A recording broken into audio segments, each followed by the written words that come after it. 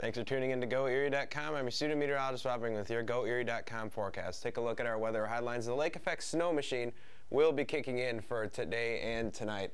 Uh, not much accumulation will be expected from the lake effect snow, just a couple of snow showers here and there. And for the remainder of the forecast period, slightly above average temps are to be expected. And later this week, we will be watching our next storm system to move through our area. Temperatures outside, it is pretty mild right now considering the time of day and time of year. It's 35 degrees currently in Erie with the warm spot being 38 degrees down in Pittsburgh. Let's take a look at our local radar again. Not much popping up right now, just a couple of scattered snow showers, snow flurries here and there. And as I brought in the perspective into the entire U.S. now, we can see right down here in New Mexico, this will be the storm system that we will be watching for later this week. And as you can see behind me, much of the eastern two-thirds of the United States is relatively clear. And temperatures across the eastern seaboard right now, again, we could see in our neck of the woods, it is pr pretty mild for up and down the entire East Coast. And we can see in the upper Midwest and Northern Rockies, they are the only ones to have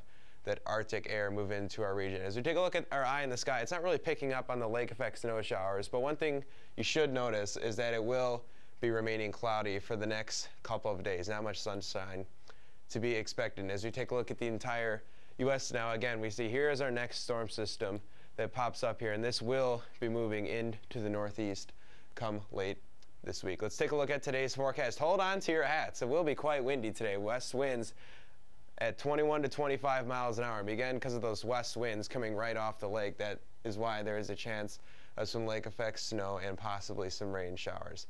And again, for tonight, winds out of the west again. Not as windy though, 10 to 16 miles an hour. And again, a chance of snow for tonight. Let's take a look at the next three days. Now again, for Wednesday, mostly cloudy skies. Temperatures with a high of around 35 degrees.